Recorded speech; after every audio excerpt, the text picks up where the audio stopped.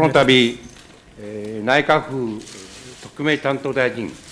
金融とまた郵政改革担当大臣の再任を受けました、国民新党の自見庄三郎でございます。引き続きよろしくお願いをいたします。うん今日はあの総理大臣から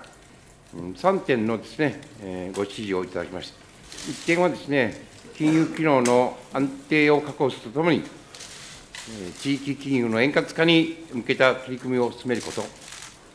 2つ目が、東日本大震災の被災者、被災事業者等が抱えるいわゆる二重ローンに対し、支援措置を講ずること。3つ目が、総務大臣と密接に連携をして、すでに国会に提出しています、郵政改革関連法案の早期成立を図るなど、郵政事業改革の着実な推進に取り組むこと、この3点を指示をいただきました。今後ですね、この指示を踏まえて、全力でま取り組んでいくですね、所存でございます。まあ、金融、あるいは金融行政の基本、一番大事な点はですね、まあ、ご存知のように金融システムの安定化、あるいはですね、利用者の保護、あるいはですね、この公正で透明で活力ある、まあ、マーケットといいますか、市場をですね、の向上ということがですね、市場の確立ということが大変大事でございますが、ね、こういったことをですね、きちっと基本に踏まえながら、適時、適切にやってまいりたいというふうに思っております。特に現下のですね、今、もうヨーロッパ、ご存知のヨーロッパ、EU でございますが、財政金融問題やこのアメリカのですね、まあ、景気の下振れ、まあ、減速等によりま、世界的にリスク回避の動きが強まる中、まあ、マーケットの中の不安不安定な動向が続いておりますが、まあ、こうしたですね、金融システムの健全性を確保し、こういった中でですね、えー、金融システムの健全性を確保し、まあ、金融仲介機能を円滑かつ積極的にですね、していくようにですね、えー、気を引き締めてですね、えー、的確に対処してまいりたいというふうに思っております。それから郵政改革につきましては、この東日本大震災のですね、復興の基本計画、これ、閣議決定させていただきましたが、この中にもですね、えー、あのこの合分社化、えー、竹中小泉竹中さんの時にしました、いわゆる郵政民営化法案の合分社化されましたが、合分社化のですね、えー、矛盾といいますか、これがまあまあ被災地において、まあ、私自身もこの仙台石巻、えー、をですね、まあ、郵便局等をですね、まあ、行かせていただきまして、まあ、そのことを実感したわけでございますが、まあ、一例を挙げればですね、えー、共あの3事業一体共同担務、それからですね、ユニバーサルサービスというのが、まあ、明治4年以来の郵政、日本国の郵政事業の特徴でございましたが、まあ、5分社化によってですね、まあ、郵便は郵便、あるいは貯金は貯金、保険は保険というふうに、まあ、合分社化になったわけでございますが、この合分社化の弊害がですね、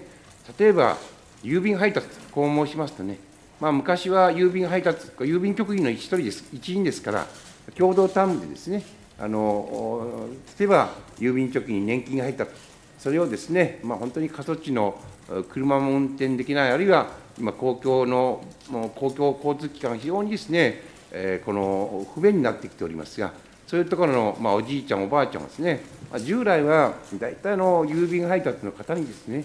あのまあ、あの貯金通帳と版を渡してですね、まあ、率直に言えば、まあ、町に行って行ってですね、きちっと年金を下ろしてきてくれっていうようなことがですね、まあ、日本ではあの簡便な方法でもございましたから、普通だったんですね。ところがあの今回、合分社化になりまして、被災地によるお年寄りにですね、あのまあ、当然お年寄りですから、もう昔の郵便局のままと思ってるんですが、郵便配達の人にそういうことを頼みますとね、今、それは完全に禁止されておりますということをですね、まあ、言われるということを、私も現実にですね、そういう話を聞かせていただきました。確かにですね、公文社化、まあ、中間管理職が非常に水ぶくれしているというような声も聞くわけでございますが、それは確かにですね、あの本当にあの利用者、本位の視点に立った、きちっとですね、いいことはやはりですね、きちっと残していかねばないとこう思いますんで、そういった意味ですね、やはりきちっとあの産事業一体、あるいはですね、まあ、過疎地では特にまあ郵便局がなくなるんじゃないかこういうことをですね、不安を訴える方も多いわけでございますから、まあ、そこら辺はですね、三事業一体できちっとですね、金融保険に対しても、ユニバーサルサービスをですね、きちっと維持できる、ネットワークの維持ができるということですね、やはりあの日本人が最低限ですね、平等にどこに住んでてもですね、受けられる、まあ、本当にあの国家としての必要な最小の機能だろうと、こういうふうに私、思いますんで、明治以来ですね、えーま、町に村に小学校を作る、あるいは交番を作る、郵便局を作ることによって、日本国が近代化してきたわけでございますから、その点にですね、しっかり、まあですね、あの郵政改革をですね、そういった視点に立っても、ね、東日本大震災のです、ね、復興基本方針にも含まれているわけでございますから、しっかりですね、えー、関係各各党、各委のですね、ご理解をいただきながら進めていきたいというふうに思っております。以上でございます。ね、どうぞ。どうぞ。えー、産経新聞社の村上です、はい、えー、3点伺います、はい、えー、まず1点目ですが、えー、カーンナウト前首相がですね退陣直前でありますけれども、朝鮮学校の無償化適用の審査を再開するよう指示を出しました。これにつきまして、大臣はその指示を、えー、指示されますでしょうか。それから2点目ですが、えー、いわゆる永久戦犯を戦争犯罪人ではないとした野田総理大臣、その考えをどういうふうに、えー、お考えになりますでしょうか。それから3点目ですが、えー、民主党の小沢元代表の、えー、処分、これについてはですね、えー、見直すべきなのかどうなのか、はい、えー、その3点についてお聞かせください。はい、まず1点目でございますが、まあ、朝鮮学校の無償化に関わる、まあ、審査手続きの再開についての、えー、見解かにとこういう話だと思いますがですね、えー、これはあの菅前総理が、えー、8月29日ございますか、えー、高木前文部大臣に指示があり、審査手続きを再開することというふうにして、えー、聞いております。これはまあ昨年の11月の砲撃事件の発生を踏まえ、まあ、審査手続きをして、一旦停止して、まあ、9か月が経過したわけでございますが、まあ、その間ですね、えー、あのまあ、あのこの砲撃事件はですね、えー、この9か月間行っておりませんし、それからですね、えー、南北対話、あるいは少し国際情勢も動いてきたようなところがございますが、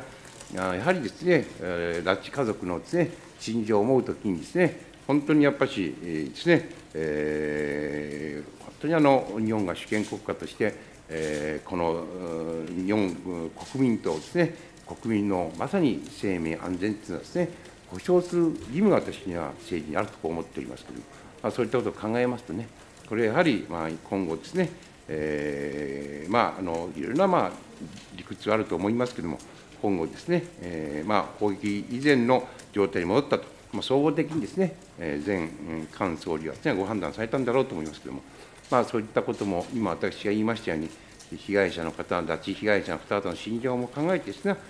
考えて、まあ、厳正な審査を行えるんじゃないかというふうに私は思っております。それからあの野田総理がですね、まあ、平成17年に出されて永久戦犯は戦争犯罪人でないかということでございますが、これは一議員としてですね、えー、あの法律的な解釈をあ政府に、えー、質問したというふうに、私はまあ理解しておりますが、まあ、そういったことですね、あの政府の今、まさにあの野田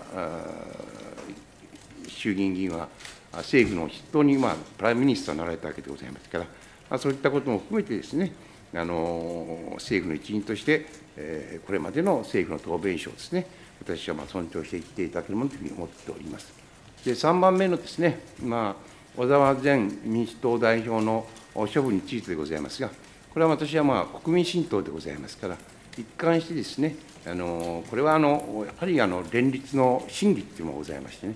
お互いにあの別々の政党でございます。えそれでですねあの、まさに4年前からですね、えこの参議院の選挙で、私、参議院議員でございますが、えこの民主党新緑風会、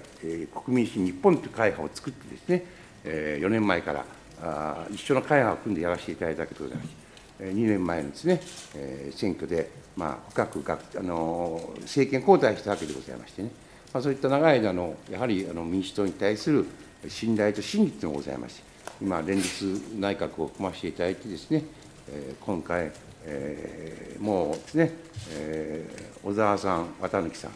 それから鳩山さん、えー亀井さん、それから菅さん、鳩山さん、で今度は野田党首、それからあですね、え